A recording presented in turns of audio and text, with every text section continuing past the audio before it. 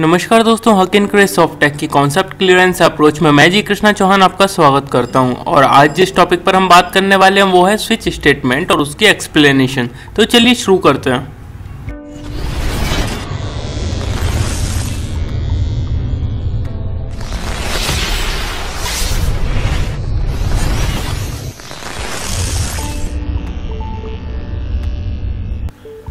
सो so friends हम सबसे पहले जानते हैं स्विच स्टेटमेंट का टास्क क्या है। तो स्विच स्टेटमेंट हमारा क्या काम करता है कि मल्टीपल कोड्स में से एक कोड को सेलेक्ट करके उसको एग्जीक्यूट करता है। ये बिल्कुल एल से फ्लैटर की तरह है बट एल से फ्लैटर में और स्विच स्टेटमेंट में डिफरेंस ये है कि एल से फ्लैटर में वो पर्टिकुलर सारे केसेस को पहले टेस्ट करेगा कंडीशन को टेस्ट करेगा, उसके बाद डिसाइड करेगा कि कौन सा कोड ब्लॉक आपको एग्जीक्यूट करना है।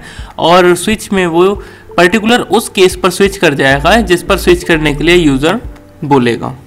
तो ये है हमारा स्विच स्टेटमेंट, और इसके डिक्लेरेशन के भी कुछ रूल एंड रेगुलेशंस हैं। तो आइए इन रूल्स को देखते हैं कि किस किस तरह से हम स्विच स्टेटमेंट को डिक्लेयर कर सकते हैं। तो सबसे पहली बात तो जो भी हमारा स्विच होगा, वो उसका एक्सप्रेशन या तो इंटीजर टाइप का होगा या करेक्टर टाइप का होगा। और जो केस की वैल्यू होगी, वो भी आपके इंटीजर या करेक्टर कांस्टेंट ही होगी। और जो केस की वैल्यू होगी, वो केस की वैल्यू भी आप स्विच स्टेटमेंट के अंदर ही यूज़ कर सकते हैं। और अगर आपने स्विच स्टेटमेंट के पहले से भी प्रोग्राम्स देखे हुए हैं तो आपने देखा होगा, उसमें हर केस के बाद एक ब्रेक लगा रहता है, नए केस के स्टार्ट होने से पहले। तो उस ब्रेक का क्या यूज़ है कि वो पर्टिकुलर टर्मिनेट कर जाता है। और जब मैं आपको जंपिंग स्टेटमेंट से बताऊँगा तो मैं ब्रेक को आपको और अच्छे से एक्सप्लेन करूँगा।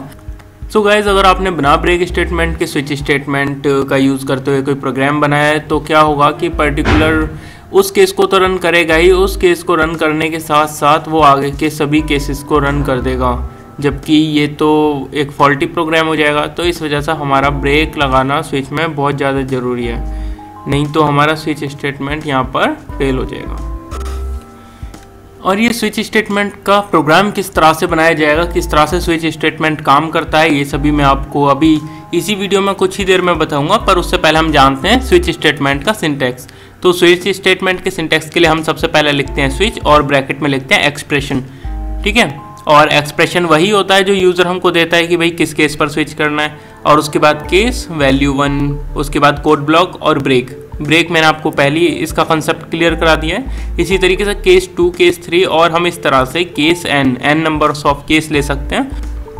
और अगर कोई भी केस यहाँ पर आपका वैलिड नहीं होता है तो उस कंडीशन में क्या होता है कि जो आपका डिफ़ॉल्ट होता है डिफ़ॉल्ट वर्क करता है वहाँ पर कि भाई आपका कोई सा भी केस मैच नहीं हुआ है तो आप डिफ़ॉल्ट में जो भी प्रिंट कराएँगे या फिर जो भी टास्क परफॉर्म कराएँगे, जो भी कोड ब्लॉक आपने लिखा है डिफ़ॉल्ट में एग्जीक्यूशन के लिए तो वो एग्जीक्यूट होगा। तो ये सिंटेक्स था आपका स्विच स्टेटमेंट का। सो फ्रेंड्स फ्लो चार्ट भी इसका काफ़ी सिंपल है। आप देख सकते हैं यहाँ पर case one case two case three dot dot dot dot dot case n यानी कि नंबर ऑफ़ एन हो सकते हैं केसेस ट्रू होने पर स्टेटमेंट रन करेगा और फॉल्स होने पर वो भी अगले केस को टेस्ट करेगा कि भाई ये केस क्या वही है जो यूज़र ने दिया है, ठीक है? और फाइनली क्या होगा? टर्मिनेट हो जाएगा। तो ये फ्लो चार्ट था हमारा स्विच स्टेटमेंट का। अब देखते हैं वैलिड एंड इनवैलिड कि भाई कौन सा स्विच वैलिड है और कौन सा स्विच इनवैलिड है। अगर हम लिखते हैं switch x that mean x is any value और any variable which value is user defined और प्री डिफाइंड तो स्विच एक्स ग्रेटर देन और लेस देन और इसमें हम एडिशन कर सकते हैं। Switch a plus b minus two इस तरह से स्विच में कोई फ़ंक्शन दे सकते हैं तो ये सभी हमारे वैलिड होंगे। बट अगर हम बात करते हैं स्विच एफ़ फ्लोट या फिर switch x plus two point five यानी कि फ्लोटिंग नंबर को हम यहाँ पर ऐड करा रहे हैं। तो ये सभी हमारे इनवैलिड स्विच के अंदर आते हैं। और अगर हम केसेस देखते हैं कौन कौन से वैलिड हैं तो वैलिड केस में हम लिख सकते हैं केस को नुमेरिक में, जैसे केस थ्री और अल्फ़ा में लिख सकते हैं, यानी कि कैरेक्टर्स में, जैसे केस ए और addition less than greater than इनको भी यूज़ कर सकते हैं, जैसे केस वन प्लस टू और केस यहाँ पर करेक्टर है x is greater than character y और अगर हम इनवैलिड केस की बात करें तो case floating point any number जैसे केस 2.5 या फिर केस एक्स या फिर केस एक्स प्लस टू या फिर case one comma two comma three ये सभी हमारे इनवैलिड के तो आइए चलते हैं और एक एग्जांपल देखते हैं स्विच का, जिससे कि ये सारे कंसेप्ट हमारे क्लियर हो सकें। सो फ्रेंड्स यहाँ पर मैं सी का प्रोग्राम बना रहा हूँ और ये सी का प्रोग्राम बिल्कुल वैसा ही है जैसा एल्सेप लेटर का था बट जो आपका इनपुट और आउटपुट वहाँ पर थे एल से फ्लैटर वाले प्रोग्राम में वही इनपुट और आउटपुट हमारे इस प्रोग्राम में होंगे। बस हमारा लॉजिक चेंज है, वहाँ पर हमने एल से फ्लैटर यूज़ किया था, यहाँ पर हमने स्विच यूज़ किया था। तो प्रोग्राम बनाने के लिए सबसे पहले मैंने हेडर फ़ाइल को इंक्लूड करा दिया है और उसके बाद मेन फ़ंक्शन लिख दिया और मेन फ़ंक्शन के अंदर मैंने लोकल वेरिएबल डिफाइन किए हैं integer number equal to zero यानी कि मैंने एक नंबर नाम का लोकल वेरिएबल ले लिया है। ठीक है? अब मैं यूज़र से वैल्यू ले रहा हूँ तो यूज़र से मैंने बोल दिया एंटर नंबर और उस नंबर को मैंने इस नंबर में स्कैन करा लिया, जो कि इंटीजर टाइप का है, जिसका फॉर्मेट स्पेसिफायर है परसेंटाइल डी अब मैंने यहाँ पर स्विच लगाया स्विच एक्सप्रेशन जैसे मैंने आपको पहले बताया था, उसी तरीके मैंने स्विच और यहाँ पर नंबर लिखा है। ये नंबर वही एक्सप्रेशन है जो भी यूज़र देगा, ठीक है? और फिर यहाँ पर मैं केस देता हूँ, जैसे मैंने केस दिया है टेन यानी कि यूज़र अगर एंटर कर रहा है टेन तो क्या होगा?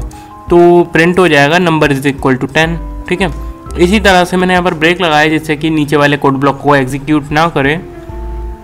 और उसके बाद मैंने अगला केस बनाया, केस 50 उसमें प्रिंट करा दिया नंबर इज़ इक्वल टू 50 इसी तरह से मैंने एक नया केस बनाया 100 और उसमें प्रिंट करा दिया नंबर इज़ इक्वल टू 100 और फाइनली मैंने डिफ़ॉल्ट लगा दिया। डिफ़ॉल्ट में मैंने लिख दिया number is not equal to ten fifty और हंड्रेड यानी कि अगर टेन फिफ्टी और हंड्रेड के सिवा कोई और दूसरा नंबर लिखता है यूज़र तो लिखा जाएगा number is not equal to ten fifty और हंड्रेड और अगर यूज़र देता है नंबर टेन फिफ्टी या हंड्रेड में से कोई तो बता देगा number is equal to this one यानी number is equal to ten number is equal to fifty तो चलिए इसको गेट सी एच लगा कर प्रोग्राम को टर्मिनेट कर देते हैं और फिर देखते हैं इस प्रोग्राम को कंपाइल और रन करके कि किस तरह से काम करता है। तो सबसे पहले हम कंपाइल करते हैं। कंपाइलेशन टाइम पर ये ज़ीरो एरर बता रहा है। अब इस प्रोग्राम को मैं रन करता हूँ। तो देखिए रन करने पर पूछ रहा है एंट्रा नंबर अगर मैं नंबर देता हूँ थर्टी थ्री तो वो बता रहा है number is not equal to ten comma fifty comma hundred और अगर मैं इसी प्रोग्राम को दोबारा से रन करता हूँ तो यहाँ पर अगर मैं नंबर दे देता हूँ हंड्रेड तो बता देगा number is equal to hundred तो यही था हमारा एक स्विच का प्रोग्राम